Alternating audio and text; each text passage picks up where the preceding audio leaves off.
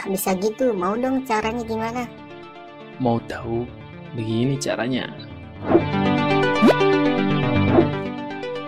Halo, kembali lagi bersama channel Power Editor. Terima kasih yang sudah menonton pada channel ini dari awal sampai akhir. Ataupun yang baru join atau nonton pada channel ini, bisa langsung aktifkan notifikasi di bawah supaya tidak ketinggalan video-video terbaru lainnya.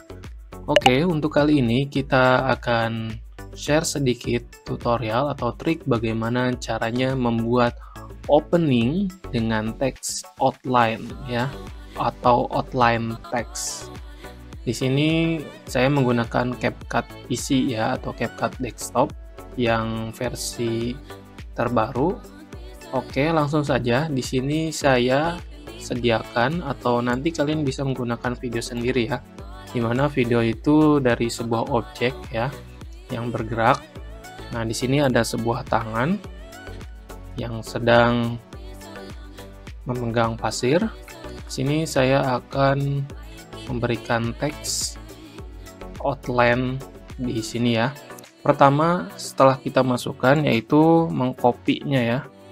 Mengkopinya dengan cara CTRL-C dengan paste seperti ini.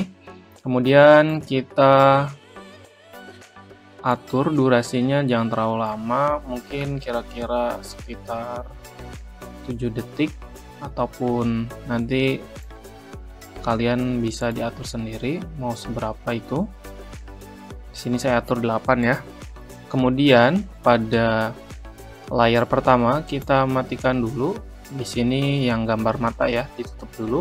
Kemudian untuk outline atau gambar pada layar kedua, kita akan hilangkan backgroundnya terlebih dahulu dengan cara pergi ke video, kemudian ke cutout dan kita auto cutout. Oke, di sini ternyata kurang bersih ya. Oke, dia hanya nyampe sekitar sini. Oke, oleh karena itu kita perpendek saja untuk memperbagus ya. Oke. Kita samakan yang bawahnya. Usahakan ketika cutout itu dia bersih. Jadi nanti tidak akan nabrak dengan outline garis. Setelah itu kita akan tambahkan namanya teks. Seperti biasa kita tambahkan di teks. Kemudian kita pakai default text biasa ya. Di sini bisa kalian ketikkan dari tulisan. Sesuai yang diinginkan saya tulis nama channel saya power editor. Usahakan kalau bisa menggunakan caps lock supaya lebih besar dan terlihat ya. Oke di sini sudah ya. Oke setelah itu kita ganti fontnya. Saya menggunakan Montserrat ini sudah tersedia di sistemnya bisa langsung download di bawah ya. Nanti ada monstrat kemudian setelah itu size fontnya kita besarkan saja. Mungkin sekitar 21 ataupun 22 bisa.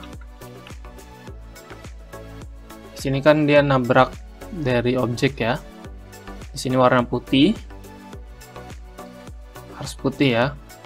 Biar nanti ketika di screen nggak kena kemudian setelah itu ininya presetnya kita matikan spacing. Nah pada stroke kita berikan stroke ya. Stroke-nya kita samakan dengan warna dari defaultnya yaitu putih. Pojok sini aja.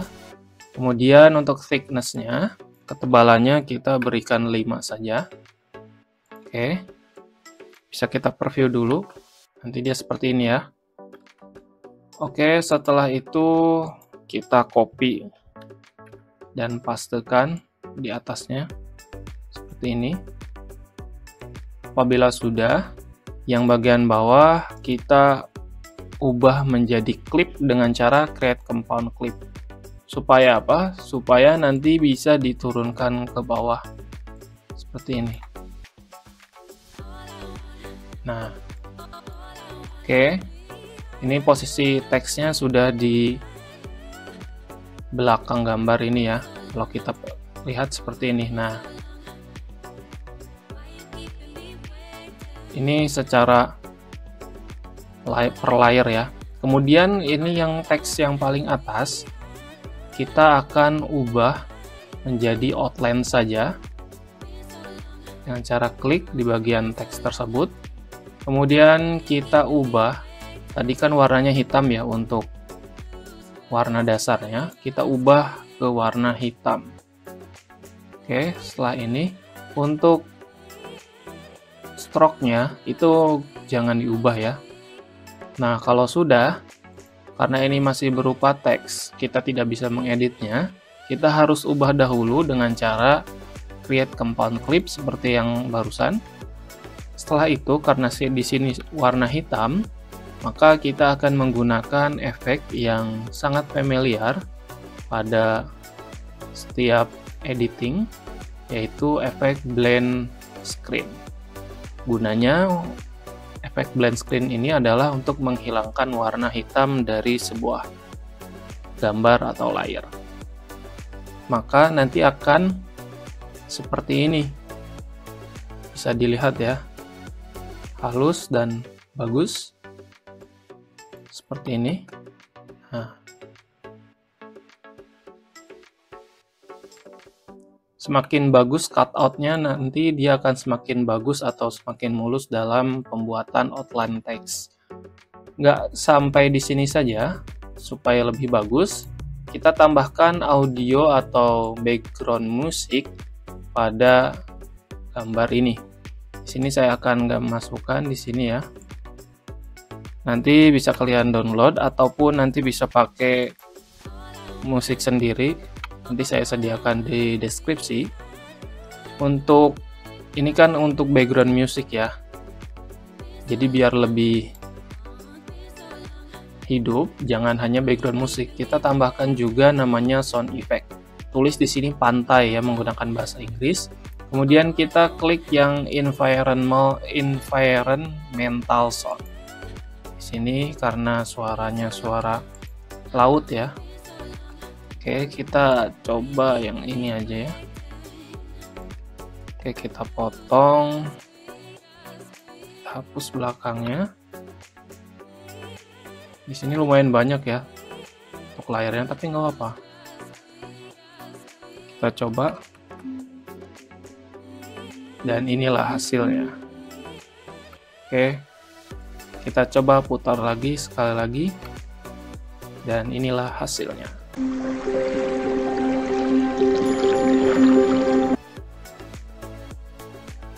Oke, sampai di sini saja. Terima kasih yang sudah menonton dari awal sampai akhir. Semoga bermanfaat dan nantikan video-video terbaru lainnya hanya di channel Power Editor dengan mengaktifkan notifikasi lonceng di bawah dan see you in the next video.